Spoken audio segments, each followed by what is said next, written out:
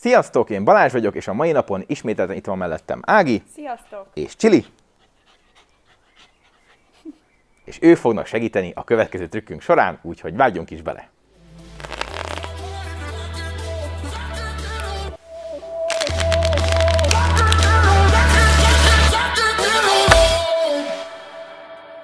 Szóval akkor vágjunk is bele, a mai napra egy újabb színezést hoztam nektek, amit ö, gondolkodtam, hogy milyen színezések vannak, amiket még nem láttatok, vagy amiket így könnyebb megcsinálni, és meg tudnám nektek tanítani, és eszembe jutott, hogy van egy színezés, amit még nem mutattam be, úgyhogy lássuk is most ezt a színezést. Úgyhogy Ági arra foglak téged kérni, hogy válasz egy darab kártyalapot, bármelyiket, amiket csak szeretnéd, a gyönyörű regália kártyacsomagból, mondjuk azt, és kérlek mutasd meg a kamerának? Csilinek is mutassuk meg.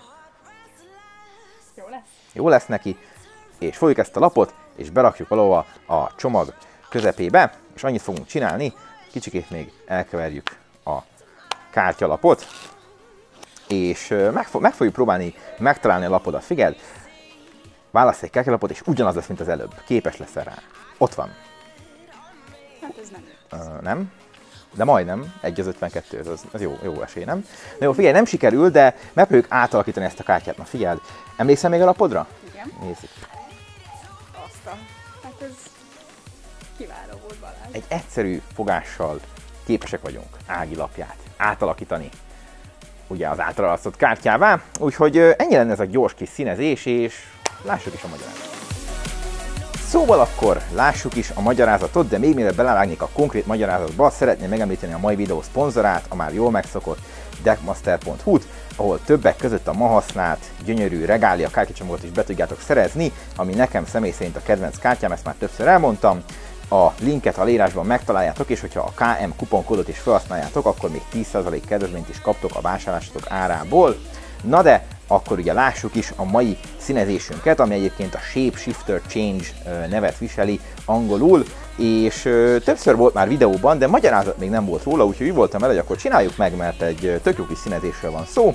Szóval nyilván a néző választ egy kártyalapot, most ezúttal a PIK 10-est, és ugye ezt bármilyen módon a csomag tetejére kell kontrollálnunk, ugye akár ezt a bonyolultabb kontrollt mutattam, vagy egy egyszerű, mondjuk nem is tudom, double undercut-tal, minden esetre valamilyen módon a csomag tetejére kell kontrollálnunk a PIK 10-est, és ezt követően bármilyen módon vagy megérezünk egy lapot, vagy a néző megpróbálja kiválasztani ugyanazt a lapot, tök mindegy, választ egy másik lapot, és nem ez volt a lapja. És akkor a néző mondja, hogy hát nem ez volt. És akkor mindenki azt hiszi, hogy elrontottuk a trükköt, de nem, mert most fog jönni a színezés, úgyhogy annyit csinálunk, hogy miközben ezt a lapot ö, mutatjuk a nézőnek, csinálunk egy kis új bréket a néző valódi kártyája alatt, ami ugye nagyon egyszerűen eltűjük a hüvelykujjunk a legfelső lapot, visszahúzzuk, és már ott is a kis új brék.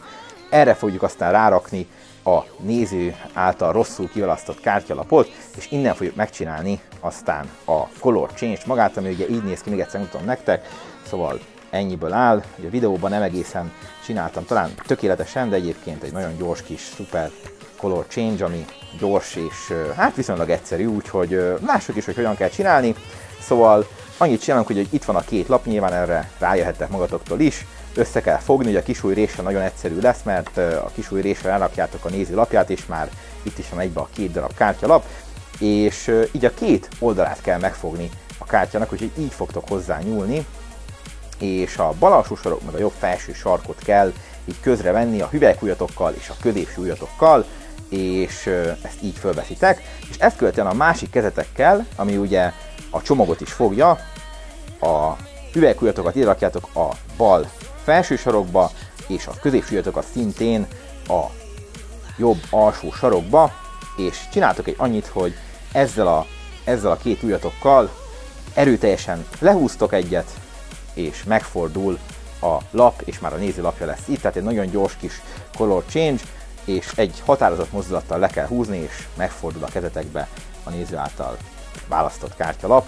Szóval, hát ehhez kellene fog egy kis gyakorlás, mert amúgy tényleg ennyi maga a trükk, ö, próbálgassátok, lehet, hogy valakinek rögtön sikerülni fog, de, de néha lesz ilyen, hogy így vagy, túlfordul, vagy csak így félig fordul át, vagy nem egészen fordul át, vagy tehát lesznek dolgok, amik nem biztos, hogy össze fognak jönni, ezért kell egy kicsit gyakorolni, amíg biztosan fog menni, de higgyétek el, egyébként nem egy nagyon bonyolult fogás, és szerintem tök jó kis color change van szó, tök jól néz ki, és miután megcsináltátok, ugye lehúztátok ezt a kártyát, és itt van nálatok, akkor csak annyit csináltok, hogy rárakjátok a csomag tetejére, és lehúzzátok, ugye ezzel megszabadulva a másik kártyától, és ezután odaadhatjátok a nézőnek a választott kártyalapot. Tehát ez egy nagyon gyors kis egyszerű trükk, egy egyszerű kis színezés, ami technikailag ugye nagyon egyszerű, mert tényleg nincs benne több, annyi, hogy itt lehúztok ezen a két oldalon, itt átfordul lényegében a nyomás hatására, vagy hát a nem is tudom, rugalmassága a kártyának átfordul. Hogyha eleinte nem megy, akkor esetleg próbálkozhattok három darab kártyával, mert három kártyával aztán még könnyebb talán egy fokkal,